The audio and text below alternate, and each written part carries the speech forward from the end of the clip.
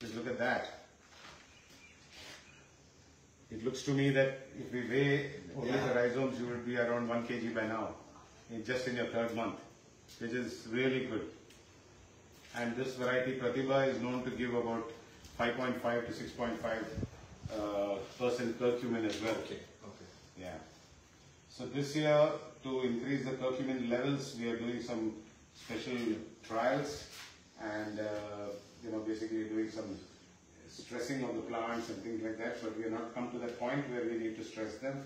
From next month onwards, I'll be stressing them out a bit at by various parameters. Mm-hmm. Yeah, I'll do that and then, because curcumin is, curcumin is formed as a secondary metabolite only when there is stress. Okay. The, what you're getting as curcumin is not something that a plant which has not gone through stress will never give you curcumin, high curcumin. Only when it goes through a certain different kinds of stresses. Okay. It could be nutrition stress, it could be light stress, it could be quantity of water, hydrological drought. Uh-huh.